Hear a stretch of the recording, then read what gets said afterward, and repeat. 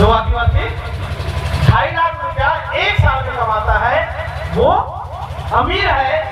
अगर कोई ब्राह्मण स्वर्ण एक साल में आठ लाख रुपया कमाता है तो गरीब है। साल के अंदर में अगर आठ लाख कमाता है तो स्वर्ण और ब्राह्मण गरीब है। लेकिन अगर आदिवासी ढाई लाख कमाता है तो अमीर है। चाहे आपके साथ न्याय हो रहा है? कोर्ट है। उस कोर्ट के द्वारा अपने ही देश के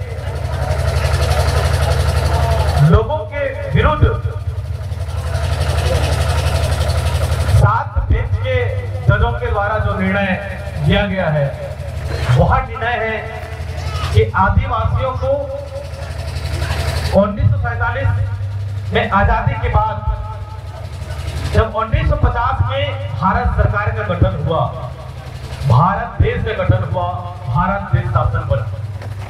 उस दिन से लेकर के आज तक 1950 से लेकर के 2024 तक, यानी कि लगभग अठहत्तर साल तक हम लोगों ने आदिवासियों को और अनुसूचित जाति के लोगों को उनके विकास के लिए, उनके उत्थान के लिए, पढ़ाई लिखाई के लिए, नौकरी के लिए, भारत देश में शासन चलाने के लिए, प्रतिनिधित्व के लिए जनप्रतिनिधि के लिए जितने भी प्रकार का आरक्षण दिए हैं, उस आरक्षण के बदौलत अठहत्तर साल में उन लोग बहुत ज़्यादा विकास कर चुके हैं। उनको हम विकास का बहुत मौका दिया, अठहत्तर साल विकास का मौका दे दिए। अब उनका विकास हो चुका है तो जिनका विकास हो गया है, उनकी आरक्षण को खत्म किया जाए। वर्गीकरण का मतलब यहाँ बहुत सारे लोग हमारे वक्तव्य बता रहे हैं कि आदिवासियों को वर्गीकरण में बांटा जा रहा है, वर्गीकरण में बांटा जा रहा है। मतलब जितने लोग नौकरी कर रहे हैं, वो अमीर बन गए। तो उनको आरक्षण से हटा दिया जाए। और जो गरीब है मतलब किसको गरीब बोला जाएगा? जो आदिवासी ढाई लाख रुपया साल में कमाता है, वो अमीर है। जो आदिवासी ढाई लाख रुपया एक साल में कमाता है, वो अमीर है। लेकिन वही आरक्षण कैटेगरी के मापदंड में, वही सुप्रीम कोर्ट, वही भारत देश का संसद ये कहता है कि जब सामान्य वर्गों के लोगों के लिए जब रिजर्वेशन पॉलिसी की बात की तो बोला कि 10 परसेंट हम सामान्य वर्गों के जो गरीब लोग हैं, उनको भी हम आरक्षण देंगे। ये पिछले दो चार साल पहले की बात है। तो उन्होंने क्राइटेरिया रखा कि जो सामान्य वर्ग है, जो आदिवासी हरिजन पिछड़ा वर्ग नहीं है, उनको भी हम आरक्षण देंगे। मतलब स्वर्ण लोग को भी आरक्षण देंगे। स्वर्ण मतलब ब्राह्मण। उनको भी आरक्षण देंगे, लेकिन दस देंगे। लेकिन उनकी क्राइटेरिया अगर कोई ब्राह्मण स्वर्ण एक साल में आठ लाख रुपया कमाता है तो गरीब है। वही सरकार कहता है। सोचिए आप इस हमारे भारत देश में जो स्वर्ण ब्राह्मण है अगर वो देश में साल भर में एक साल के अंदर में अगर आठ लाख कमाता है तो स्वर्ण और ब्राह्मण गरीब है। लेकिन अगर आदिवासी ढाई लाख कमाता है तो अमीर है क्या आपके साथ न्याय हो रहा है न्याय हो रहा है चाहे आपको करना है कि इस देश की सरकार इसको आप लोग बनाते हो क्योंकि विधायक आप सब सुनते हैं सांसद आप सब सुनते हैं और आपके द्वारा बनाया सरकार आप ही के थाली की भात को छीन रहा है। कैसे बचाएँगे। और वर्गीकरण की बात को सबसे ज़्यादा समझना चाहिए कि वर्गीकरण मतलब ढाई लाख कमाने वाला अमीर और आठ लाख कमाने वाला। गरीब क्या विडंबना है जिस देश में हम निवास करते हैं? सरकार को हम बनाते हैं? जिस सरकार का संरक्षण करते हैं? वही सरकार एक व्यक्ति को बोलता है तुम में गरीब हो और को बोलता है, तुम उसी देश के नागरिक को बोलता है, तुम ढाई लाख में अमीर हो।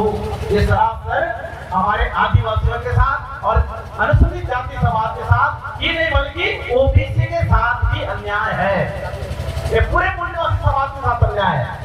इस बात को हमको समझना चाहिए कि हमारे साथ भारत देश की सरकार कैसा हमारे साथ सलूट कर रहा है। और दूसरी बात, आज हमारा देश का आरक्षण की जो मुद्दा है, वो एक नज़र में हम देख रहे हैं। यहाँ पे सारे लोग बैठे हैं, सारे लोग के पास व्हाट्सएप चलाते हैं फेसबुक चलाते हैं ट्विटर चलाते हैं इंस्टा चलाते हैं। सब लोग को पता होगा, आजकल कुछ दिन पहले देश में एक समिति गठित हुई है। भारत सरकार ने एक समिति बनाया है। यहाँ पे कई जवान होंगे, कई हमारे ऐसे जो शिक्षक होंगे, और भी कर्मचारी होंगे, वो कुर्सी पाने के बाद सोचता है कि मैं एसी की तैयारी करूँ। मतलब स्टेट पीएससी की मैं तैयारी करूँ और लोक सेवा की परीक्षा देके मैं स्टेट सर्विस में जाकर के मैं राज्य की सेवा करूँ। मतलब पीएससी की परीक्षा देना चाहता है। छत्तीसगढ़ लोक सेवा आयोग की परीक्षा देकर के एसडीएम, तहसीलदार, कलेक्टर, डिप्टी कलेक्टर या फिर आपका एसडीओ की टीआई, जो भी पोस्ट पाना चाहता है, वो लेना चाहता है। लेकिन आज के सबसे बड़े आरक्षण के पीछे एक और कानून बना के लाया है भारत देश सरकार वो है लेटर एंट्री लेटर एंट्री मतलब अब ये भारत सरकार ये बोल रहा है कि अब देश में यूपीएससी की परीक्षा देने की ज़रूरत नहीं है कलेक्टर बनने के लिए। देश में पुलिस अधिकारी बनने के लिए यूपीएससी की परीक्षा देने की ज़रूरत नहीं है।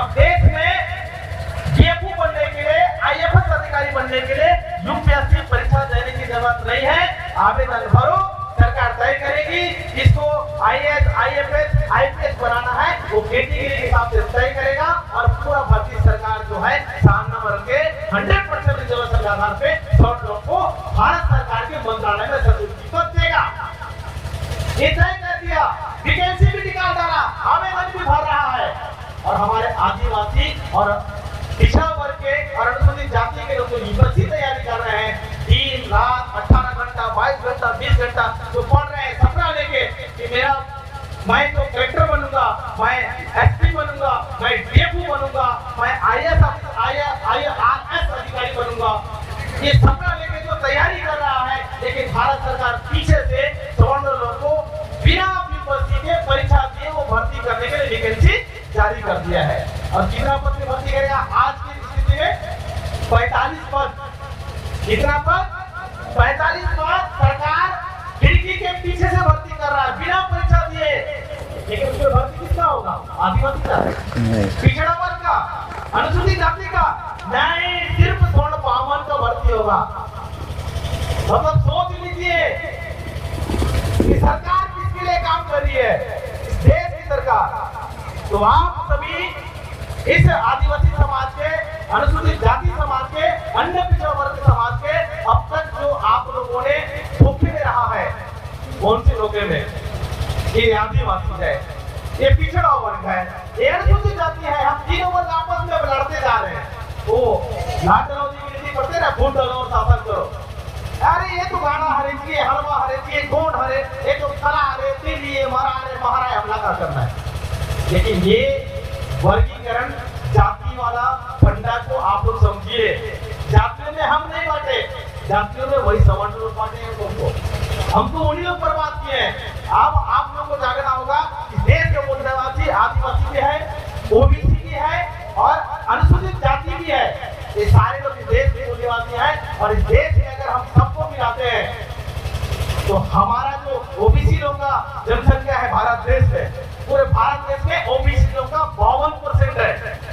कितना परसेंट बावन परसेंट ओबीसी लोग का है। भारत सरकार के मंत्रालय में कितना आईएएस ऑफिसर है ओबीसी लोग? पाँच पद नहीं है उनका। आज लिस्ट निकाल के खोज लीजिए इस भारत देश में एससी समाज का अनुसूचित जाति समाज के लोग 16 परसेंट है। भारत देश में 16 परसेंट में एक परसेंट उनका भारत सरकार के कर्मचारी पोस्ट में एक पद नहीं है उनका। और आदिवासी भारत देश में सिर्फ़ आठ परसेंट आठ परसेंट सबसे कम, भारत देश में सबसे कम संख्या आठ परसेंट सिर्फ़ आदिवासियों की है और आठ परसेंट वालों की एक भी भारत सरकार के मंत्रालय में किसी को सरकारी नौकरी नहीं है। अभी लोग वर्गीकरण की बात करते हैं। पहले भारत सरकार ने आठ परसेंट रिजर्वेशन देखे तो देखो। पहले भारत सरकार मंत्रालय में सोलह परसेंट रिजर्वेशन देखे तो देखो। पहले भारत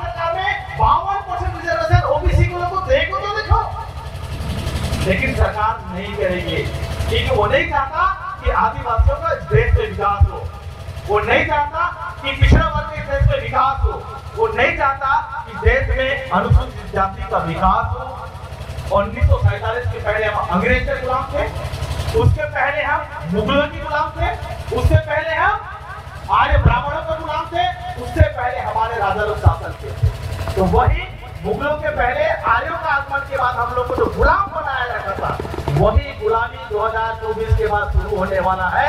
ये इसका वर्गीकरण संकेत है। ये संकेत है, ये शुरुआत है।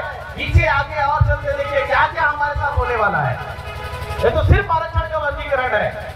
उसके आगे हमारे साथ क्रिमिनल राय है। उसके साथ हमारे साथ अभी पीछे से वो जो यूपीएससी की परीक्षा दिए बगैर अधिकारी बनो कोपड़ में अधिकारी बनो, ये वाला पोस्ट भी लाया जा रहा है। मतलब सीधा सीधा बोल रहा है कि अब देश में मूल निवासियों को खत्म किया जाए, ये पूरा रणनीति चला आ रहा है। लेकिन 9 अगस्त, विश्व आदिवासी दिवस के दिन आप लोगों ने एक बात तो ज़िक्र क्या होगा। आने वाला साल में भी और पिछले साल में भी एक बात हुआ था। उसमें एक बात आया था यूसीसी जिसको हम बोलते हैं कि पूरे भारत देश के नागरिकों को एक समान नागरिकता देंगे। कैसा नागरिकता देंगे? जब तुम ये कहते हो कि भारत नहीं होगा। यहाँ का आदिवासी एस सी ओबीसी, जनरल, सारे लोग, मुस्लिम, जैन, सिख और जब पूरे देश को लोग एक एक रूपता के नागरिक हो गए पूरे देश को लोग एक नागरिकता की बात करते हो और वर्गीकरण की बात कर रहे हो। इसका मतलब यूसीसी धोखा है।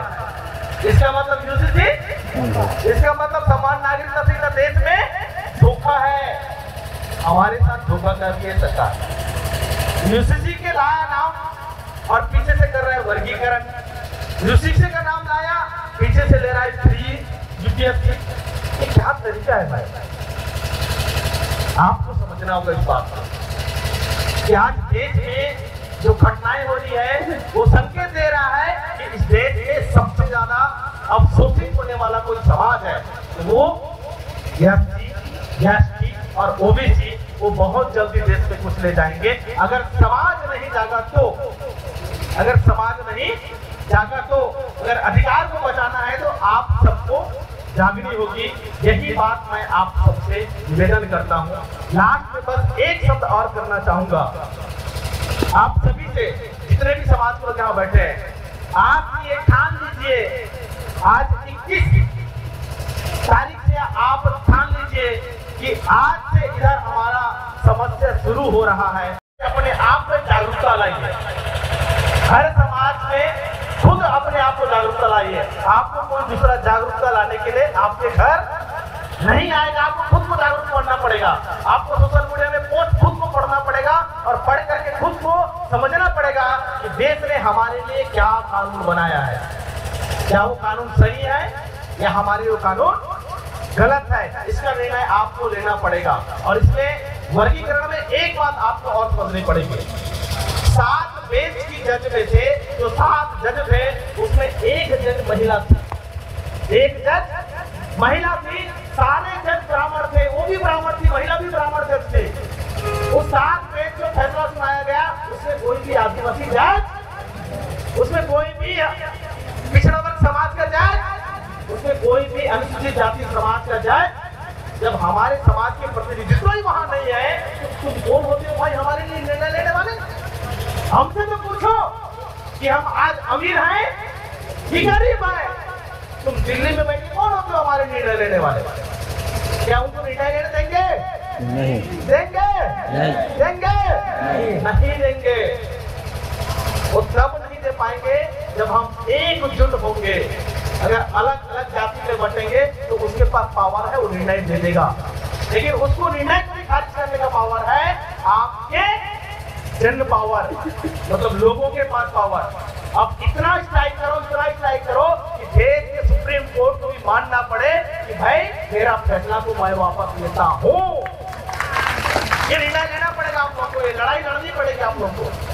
हम बोलेंगे कि हमारा संविधान और आरक्षण को बचाने के लिए बिरसा मुंडा है बिरसा मुंडा चला गया भाई लड़के वो नहीं आएगा वापस। हम बोलेंगे कि गुंडा दूर हमारे लड़ने आए? तो चला गया अपने लड़के वो। हमको दे के चला गया, वापस नहीं आएगा। रानी दुर्गावती वापस नहीं आएगी डिब्रूगढ़ वापस नहीं आएगा। आपको बिरसा मुंडा बनना, आपको गुंडापुर बनना, आपको रानी दुर्गावती, आपको कैंसी बनना, आपको बनना पड़ेगा। लेकिन भाला धनु बाण से नहीं, संविधान की किताब। किससे? संविधान की किताब आपको उठानी पड़ेगी। वही आपका हथियार है, वही आपका औज़ार है। आप तीन सौ पंचानवे अनुच्छेद पढ़ दीजिए भारत के संविधान के बाईस भाग आप पढ़ दीजिए भारत के संविधान के ग्यारहवे, बारहवें अनुसूचियों को पढ़ लीजिए। अगर जिस दिन आप भारत के संविधान के बारह अनुसूची बाईस भाग और तीन सौ पंचानवे अनुच्छेद पढ़ लिया, उस दिन आपको आदिवासी होने से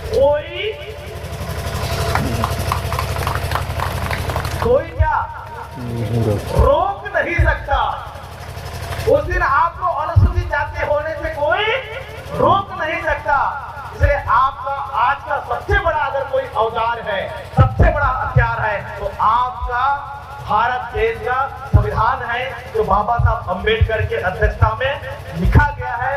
देश को अंगीकृत किया गया है और देश में उसको स्वीकारा गया है। उसमें सबसे ज़्यादा उस महिला सुप्रीम कोर्ट की जज ने एक बात कही है कि 341 और 342 और 340 में सुप्रीम कोर्ट को भी निर्णय लेने का अधिकार नहीं है। जब संविधान कहता है कि 340, 341 और अनुच्छेद 342 में सुप्रीम कोर्ट को निर्णय लेने का अधिकार नहीं है तो, कौन होता है जो संविधान के ऊपर निर्णय दिया गया है? तो एक बात क्लियर होता है कि सुप्रीम कोर्ट ने संविधान को अपने ऊपर नहीं मानता। सुप्रीम कोर्ट भारत के संविधान को अपने ऊपर नहीं मानता वो ब्राह्मणों के द्वारा बनाए गए समिति साथ में वो अपने पैर के नीचे मानता है भारत के संविधान को। ये स्पष्ट कर दिया सुप्रीम कोर्ट ने इस देश में सुप्रीम कोर्ट से बड़ा कौन? भारत देश का संविधान। इस देश में लोकसभा से बड़ा कौन? ग्राम सभा। भारत का संविधान। इस देश में राज्यसभा से राज्यपाल से बड़ा कौन? भारत का संविधान। इस देश की विधानसभा से बड़ा कौन? भारत का संविधान। तो उस सात जजों को इतना होश नहीं है कि संविधान से बड़ा हम नहीं है, लेकिन उन्होंने संविधान के खिलाफ जाकर के फैसला लिया है। मतलब संविधान के विरुद्ध फैसला लिया है वो हम उस सात में से छह जजों का हम इस मंच के माध्यम से, आदिवासी समाज के माध्यम से, अनुसूचित जाति समाज के माध्यम से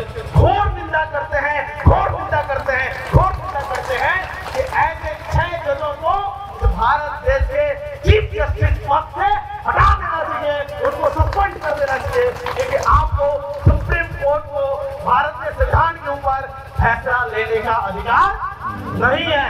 मैं नहीं कह रहा हूँ। वो सात जज में से एक महिला जज थी वो स्वीकार कर कि मैं इस फैसले में सहमत नहीं हूँ। क्योंकि उन्होंने कहा उन्होंने कहा कि अनुच्छेद भारत के संविधान के अनुच्छेद 330, 341 और 342 जो है सिर्फ़ संसद को पावर है कि किसी वर्ग को वर्गीकरण में बांटने का और सुप्रीम कोर्ट को नहीं है। उसी जज के ग्रुप में से जज ने कही है मतलब वो भारत के संविधान के अनुच्छेदों को पढ़ी है वो जानती है। इसलिए वो छह देश को एक महिला ने तमाचा मारा और बोला इस फैसले से मैं सहमत नहीं हूँ। हम उस महिला जज का सम्मान करते हैं मंच माध्यम से उनको धन्यवाद ज्ञापित करते हैं कि आपने आदिवासी नहीं होते हुए भी वो जज आदिवासी नहीं है वो जज नहीं है। वो जज अनुसूचित जाति नहीं है, लेकिन ब्राह्मण स्वर्ण है। उसके बावजूद वो आदिवासियों की सोची कम से कम वो एक जज से कम से कम संविधान के प्रति समझदार निकले। हम उसका इस मंच के माध्यम से सम्मान करते हैं उनका अभिवादन करते हैं, धन्यवाद ज्ञापित करते हैं कि कम से कम एक महिला जज होते हुए भी हमारा समर्थन की और उस संसद के गरिमा को बचाई। इस बात को आप सबको जानकारी होना चाहिए इस देश में सुप्रीम कोर्ट बड़ा नहीं है। इस देश में संसद बड़ा नहीं है, इस देश में विधानसभा बड़ा नहीं है, इस देश में राज्यसभा बड़ा नहीं है, बल्कि देश में भारत का संविधान बड़ा है, वही संविधान सर्वोपरि है इस देश को कैसे चलना है, उसकी पूरी व्यवस्था बनाती है। एक मजदूर, गरीब, असहाय, सहाय, महिला, पुरुष, युवा, सबको समानता का अधिकार सिर्फ़ भारत का संविधान देता है। कौन देता है? कौन देता है? कौन देता है? संविधान।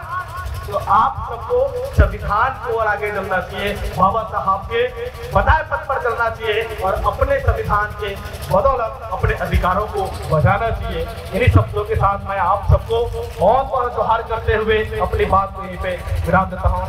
आप बहुत बहुत जोहार।